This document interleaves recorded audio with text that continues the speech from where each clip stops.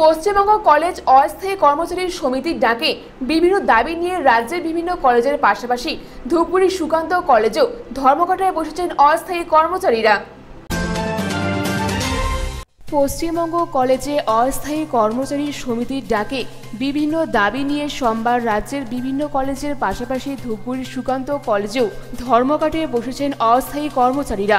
কলেজের গেট আটকে বিক্ষোভ দেখান অস্থায়ী কর্মচারীরা। এই ঘটনাকে কেন্দ্র করে উত্তেজনা ছড়ায় কলেজের গেটে। অস্থায়ী কর্মীদের স্থায়ীকরণ, সরকারি স্বীকৃতির দাবি সহ চাকরির সময়সীমা ষাট বছর করার দাবিতে বিক্ষোভ দেখাচ্ছেন তারা।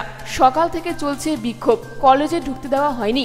অধ্যাপক ও পড়ুয়াদের কলেজের গেটে বসে কলেজের অধ্যাপক, অধ্যাপিকারা। খবর সংগ্রহে বাধা। কলেজের স্থায়ী কর্মচারী বিপ্লব সিংহ ও দীপঙ্কর মজুমদার নামে দুই কর্মচারী।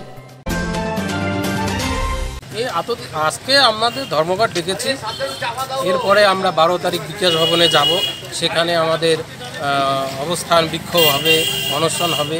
তাতে যদি সরকার পক্ষ কোনো রকম আমাদের দাবি দেওয়া না মানে তাহলে আমরা আমরণ অনশনে যাচ্ছি। প্রায় ছ হাজার। ছ হাজার। দেখুন, আমরা রাজ্যব্যাপী এই ধর্মঘটটা কিন্তু আজকে হচ্ছে।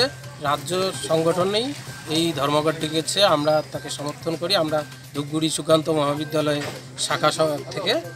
আর আমাদের সমস্যা হচ্ছে সারা পশ্চিমবঙ্গে বিভিন্ন কলেজে এক এক জায়গায় এক এক রকম বেতন কাঠামো। যেমন পুরুলিয়ায় কিছু কিছু কলেজে আছে, দেড় হাজার, দু হাজার টাকায় তারা সকাল সাড়ে দশটার থেকে পাঁচটা পর্যন্ত কাজ করছে। কি দাবিতে আজকের এই কলেজ ধর্মঘট এবং কাদের তরফে করা হচ্ছে? আমরা পশ্চিমবঙ্গ কলেজ অস্থায়ী কর্মী কর্মচারী সমিতি ধূপগুড়ি সুকান্ত মহাবিদ্যালয় ইউনিটের পক্ষ থেকে এই সুকান্ত মহাবিদ্যালয় ধর্মঘট বন্ধ রেখেছি। আমাদের দাবি আমরা দীর্ঘদিন ধরে বিভিন্ন কলেজে আমাদের যে কাজ করে যাচ্ছি অস্থায়ীভাবে, সেই স্বীকৃতিটা যেন সরকারি যে স্বীকৃতি, আমরা কলেজে, রাজ্য সরকারের চাকরি করি, আমরা কলেজের চাকরি করি না। রাজ্য সরকার কেন স্বীকৃতিটা দিবে না? আমাদের স্বীকৃতি দিতে হবে এবং আমাদের যে চাকরিটা করি, আমাদের চাকরির কোনো নিরাপত্তা নেই। আমরা রাজ্য সরকারের কাছে দাবি রাখছি, আমাদের ষাট বছরের নিরাপত্তা দিতে হবে এবং আমাদের সুনির্দিষ্ট একটা বেতন কাঠামো দিতে হবে। কেননা আমাদের মধ্যে এরকম প্রচুর সারা পশ্চিমবঙ্গের সমস্ত কলেজে কেউ দু হাজার পাচ্ছে, কেউ চার হাজার পাচ্ছে, কেউ পাঁচ হাজার পাচ্ছে, কেউ ছ হাজার পাচ্ছে। বর্তমান যে বাজার মূল্য, তার সাথে আমাদের এইভাবে আমাদের সংসার কোনোভাবেই চলে না। সেই দিকে দৃষ্টিপাত করার জন্য রাজ্য সরকারের কাছে আমরা এর আগে বহুবার গিয়েছি, বহুবার দেখা করার চেষ্টা করেছি, কিন্তু শিক্ষামন্ত্রী আমাদেরকে কোনোভাবেই ওইভাবে দেখা করেনি বা একটু হেও করেছে।